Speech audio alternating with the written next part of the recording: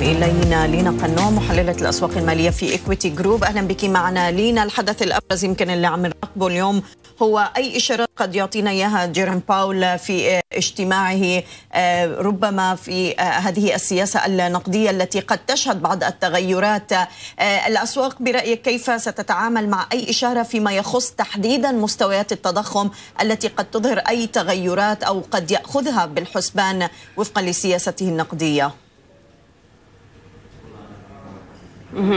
أهلا ومرحبا بكم.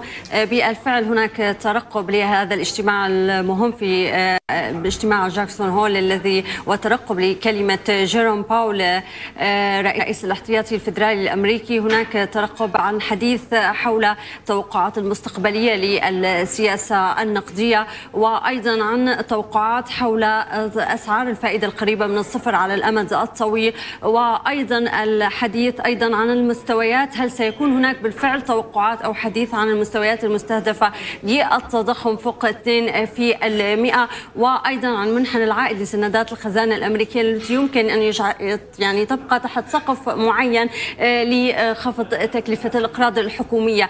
بالتالي كل لو تحدث فعلا عن مستويات التضخم المستهدفة فوق 2% سنشاهد ضغط على الدولار وأيضا ارتفاعات أيضا للذهب الذهب وللاسواق الأسهم الأمريكية. لو لم لم يتحدث ابدا عن التضخم فسوف نشهد عمليات تصحيح على الذهب لأن هناك توقعات بأن يكون هناك حديث عن توقعات مستقبليه عن مزيد من التحفيز فكله سيؤثر على أسواق الأسهم وأسواق الذهب لو لو لو لم تكن التوقعات حول كل هذه المواضيع سيكون هناك ضغط على على على الذهب وأسواق الأسهم وسوف نشهد بعض الارتفاعات على الدولار.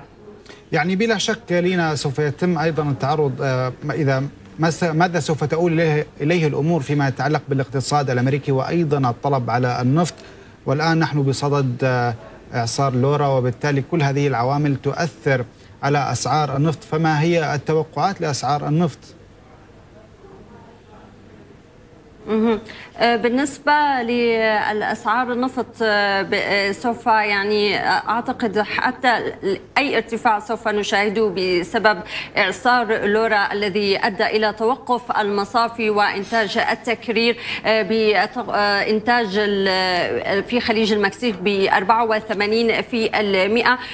هذه هذا التوقف ربما سيدعم أسعار النفط في المدى القصير وخاصة لو المتوقع أن يكون هذا الإعصار قوي على على الساحل في خليج المكسيك. بالتالي لو كان هناك أي ضرر كبير على البنية التحتية سوف يؤدي إلى ارتفاع أسعار النفط. لو لم يحدث أي ضرر إعصار لورا على البنية التحتية فلن نشهد أي تأثر في أسعار النفط. المتداولين يترقبون ليس الاعصار الإعصار بل هو المعروض النفطي وأيضا الطلب على على النفط وخاصة هناك توقعات ما زالت أنه المخزونات ما زالت كبيرة جدا. توقعات بأن يكون هناك الطلب لا لا يوجد إلى الآن التعافي لما قبل مستويات جائحة الكورونا. هناك توقعات بأن ينخفض الطلب بحسب منظمة أوبك ب 9 مليون بوكالة إدارة معلومات الطاقة الأمريكية ب 8.1 مليون برميل يوميا.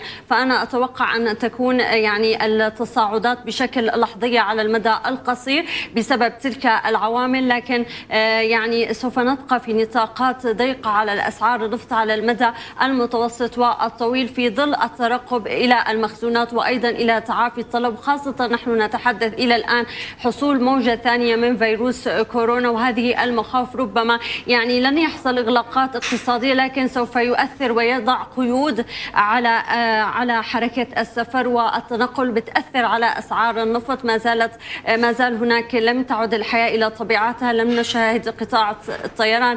يعني استأنف استؤنفت رحلاته.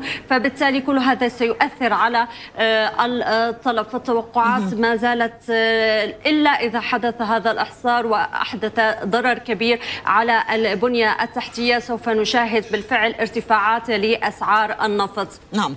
يعني بالوقت اللي عم نشوف أيضا يمكن نعم. تخوفات من حدوث ركود اقتصادي مزدوج من بعض أعضاء الاحتياطي الفدرالي لينا. ما زال في توجهات الآن خلال هذه المرحلة لأسهم التكنولوجيا بالأسواق الأمريكية. هل هو تفضيل الآن لهذه الأسهم مقارنة ربما بأسهم صناعية كان يتمركز عليها المستثمرون سابقا قبل الأزمة؟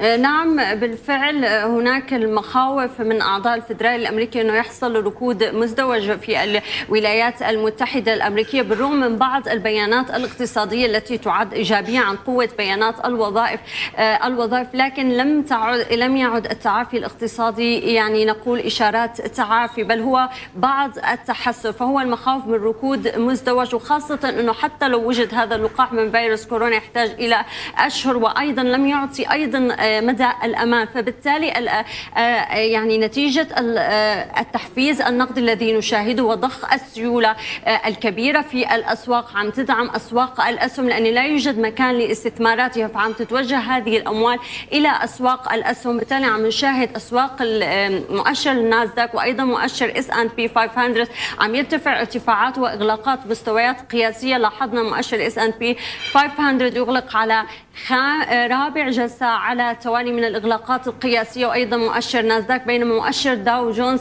يعني هناك أربعة في المئة ليعود إلى مستويات ما قبل جائحة الكورونا. وخاصة عم نشوف أسهم التكنولوجيا ارتفاعات جدا كبيرة من مؤش من أبل وأيضا أمازون عم ترتفع هذه المؤشرات. وخاصة حيث أنه هناك سيتم استبعاد إكسون موبيل ودخول Salesforce وهي مختصة في الأونلاين إلى مؤشر داو جونز وخاصة بعد التوقعات والنتائج الإيجابية التي أظهرتها وتوقعات في الإيرادات الكبيرة المتوقعة. فبالتالي هناك بالفعل دعم لكن إلى إلى أي مدى هذه الارتفاعات سوف تستمر في ظل كل هذه التحفيزات النقدية التي يقوم بها الفدرالي الأمريكي؟ وهناك توقعات أن تستمر هذه التحفيزات رغم الاتفاق آه هذا التحفيز صحيح. المعلق بين الجمهوريين والديمقراطيين لكن هناك إدارة ترامب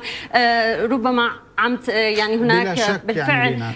يعني يريد ضخ مزيد من التحفيز يعني الكل بصدد انتظار هذه نعم. الكلمة من جيروم باول شكرا لك لينا قنوع محللة أسواق مالية في Equity Group شكرا لك